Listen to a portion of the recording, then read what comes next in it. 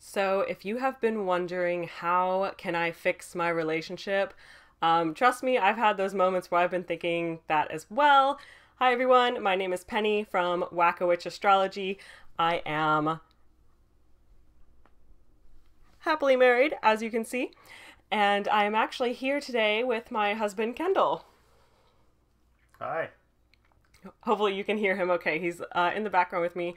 Um, so, even though I'm very blessed and I found a wonderful Libra husband that I have uh, spoke about before, I've brought him on my channel before.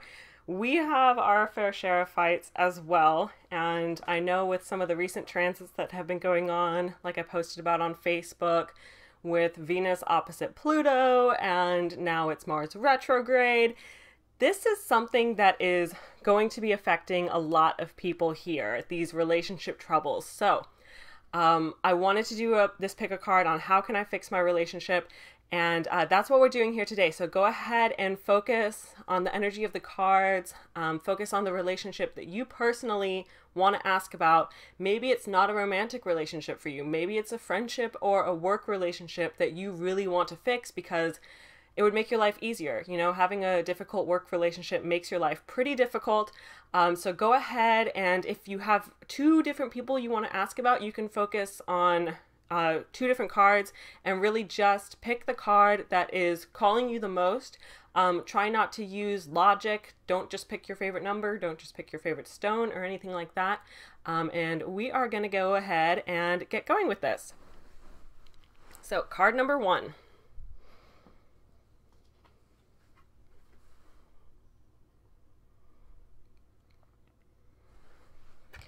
Okay, so for card number one, we have the Five of Wands here. And the Five of Wands,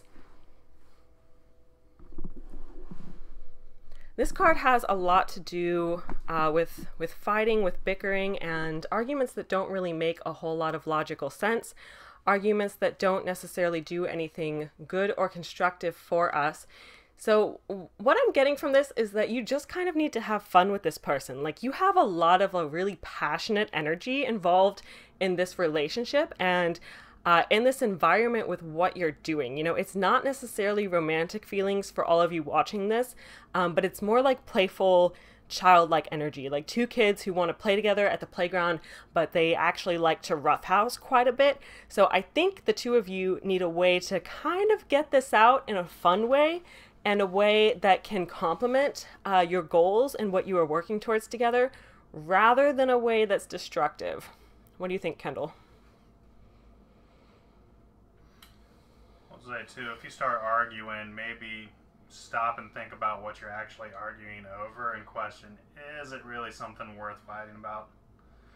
Because as she said, with the Five of Wands, most of the time it's kind of silly arguments that don't really mean anything. So take some time to stop and think is this worth fighting over? Definitely. And the good news here is that it doesn't look like there's any like deep seated bad blood here. It looks like it's more so uh, just some energy that needs to be let loose in a more mm-hmm. fun way. All right, so card number two.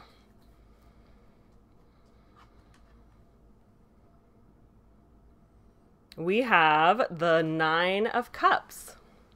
So this card is about satisfaction. It's about getting what you want and feeling that all of your needs are met. So I feel like this is a really like homey type of relationship where um, there's there's a lot of like Taurus energy, maybe a lot of Cancerian energy, um, where the two of you really feel like you need to be comfortable in your space. You need to feel like you're secure in your environment. So what I'm getting from this is that you need to respect each other's space a little bit more you need to have space that is perhaps specifically designated for you. You need to have, um, if you're sharing meals together, you need to have kind of bigger portions for each of you so you don't feel like you're fighting over resources or anything like that. You basically just need to feel really secure and really content and really taken care of. A good question to ask uh, this person you're having issues with is um, what do you need? Like, what can I do to help? What can I do to make you feel more relaxed and more at ease?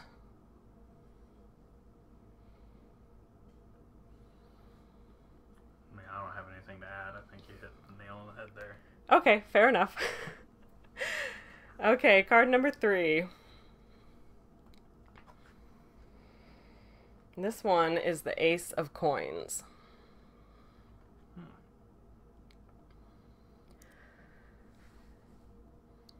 So, with this card, what I'm getting is that there's some degree of stagnance in this relationship, something that's not quite moving forward the way that was expected or the way that they felt it was supposed to. So there needs to be something kind of new that's being brought to the table, that's being offered, uh, that's being contributed. So it could be something that's kind of like a show of peace or a show of admiration um, or something to show how much you actually value this person. So if it's a coworker, uh, it could be something just to show them how much you appreciate their work. If this is a relationship partner, this could mean that it's time to take your relationship to the next level, uh, and one of you is going to have to go and buy a ring and get down on one knee. What do you think, Kendall?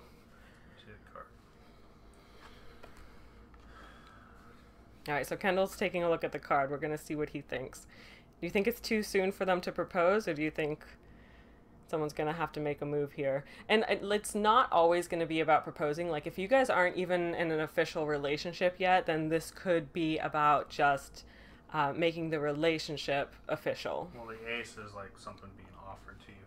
So it could be a proposal. I would say maybe even now is the time to kind of have the two of y'all focus energy into building whatever it may be. If it's a relationship between you and your coworker, maybe putting that energy together towards a project and uh, just kind of working things out along that path. If it is your relationship partner, it could be a proposal.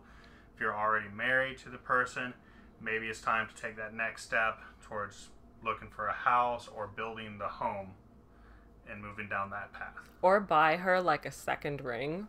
I like that idea. I think she's trying to give me a hint. I had a dream that you bought me another ring. Uh, yeah, she's definitely trying to give me a hint. okay, uh, card number four. Oh boy. Okay.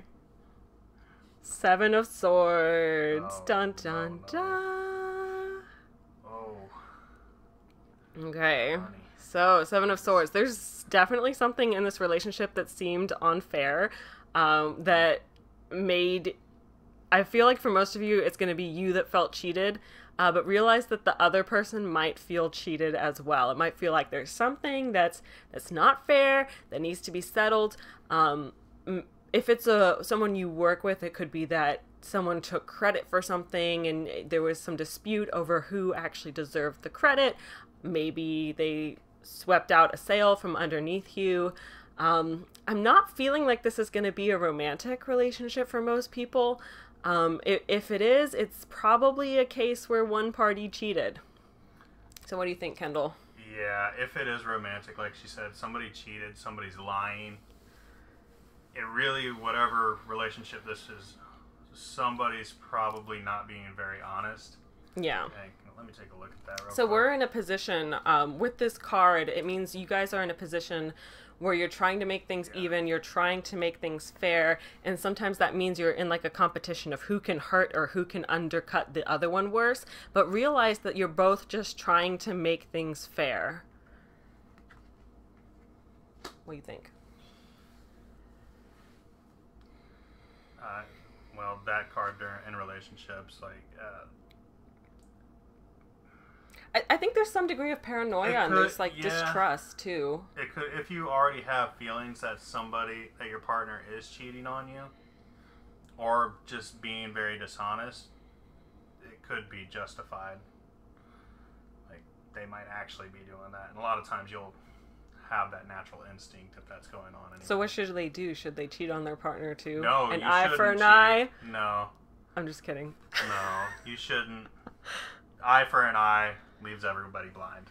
Yeah, yeah, apparently.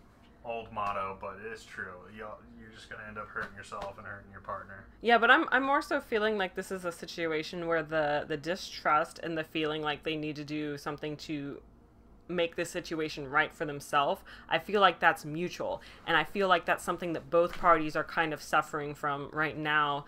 Um, so that that probably needs just some lights shed on it really. Like just shine some light on how you both are feeling and you know that little bit of a feeling of inferiority that you've been facing and that need to kind of redeem yourself or you know redeem your honor or whatever it is. Um, just just understand that and explore that so you can start to let it heal. All right card number five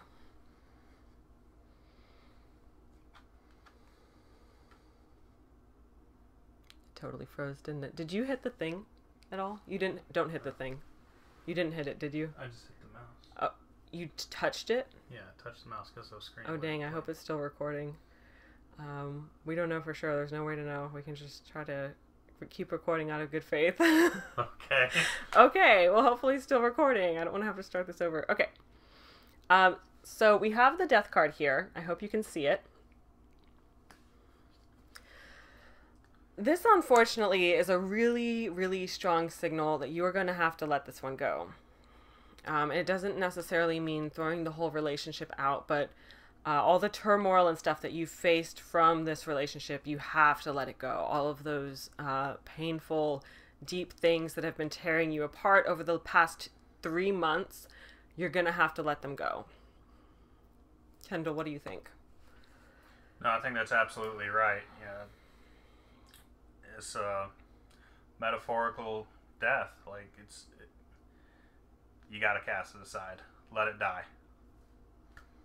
Um, if you don't, just as in like literal death of a person or an animal, if you hold on for too long, it's going to eat at you internally, mm-hmm. and you're just going to fall into the state of depression yeah. and then turmoil. So just let it go. It's going to be rough at first, but it it's time to let it go. And just to clarify, he's not saying anyone is going to die. No, no, no, he's no, not no. saying It's that. He's comparing it to mourning a death. Yeah, this is normally the death card is going to symbolize a metaphorical death. Mm-hmm. Okay. All right. Card number six. We have the Five of Pentacles. So, this is a situation uh, where one party in this relationship really feels like they need help. They desperately, desperately need help, and they're hoping that the other party will come and help them and give them a hand with what they need. Now, once again, there's a big chance that this feeling is mutual. There's a big chance that you're both feeling this sensation of disparity, like you're not getting what you need, and you're looking to the other person like, why won't you help me? Don't you see that I'm suffering? So I think you guys need to just kind of realize that and, you know, realize what's going on and realize that both of you are suffering. Both of you are in kind of a desperate situation right now. And you're looking to each other to be able to fix it. And it doesn't look like this is a situation where either one of you is really able to help the other right now, at least not in the ways that were expected. But if you if you start to put yourself in each other's shoes a little bit more, then you'll start to find the areas where you actually can help each other. Uh, and this can be a mutually beneficial relationship. It doesn't have to be a situation where you both are operating out of uh, disparity or a feeling of spiritual or physical illness. You know, do you get what I'm saying, Kendall? Yeah, I would say this card is indicating that you this now's the time that you need to be very clear on what it is that you want, what you need, because you might both be struggling to get that message across. So try to be as clear as possible during this time. Yeah, yeah. Um, and I feel like it's about more than just needing to talk to each other. I feel like it's needing to have more awareness of what it's like to be one another. Um, so just try to imagine yourself in their shoes. Try to look around at their life and look around at the things that have been going on for them, and uh, maybe start thinking about ways you can help. Maybe you're going to be the first one to take that step and be the bigger person, and look for ways that you can help them. Uh, and hopefully they'll reciprocate. If not, then blah, that sucks. um, but I hope they do. I hope that works out for you. Well, anyway, thank you so much for joining us today and for watching. I have a new astrology service that I have been working on, um, and it's specifically for relationships for either married couples or people who have been together for a long time. Um, and I'm testing it out first on my husband and I, so we're, we're the crash dummies, the guinea pigs right now.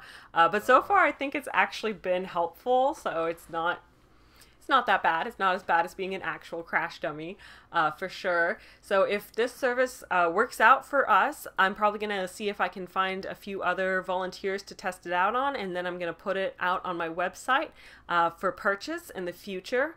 Uh, for now, if you would like to get a tarot reading or an astrology report, I have all kinds of different like love reports and commitment reports, and um, even some things that tell you like how to please your partner a little bit more in the bedroom. Um, so go ahead and check out my website, and please make sure you are subscribed to my channel and following me on Facebook, and check out any other links I have below in the description uh, for updates on what's going on with me. So thank you so much for joining. Thank y'all. See y'all later. okay, bye bye. Alright, what do I do? You hit the red button.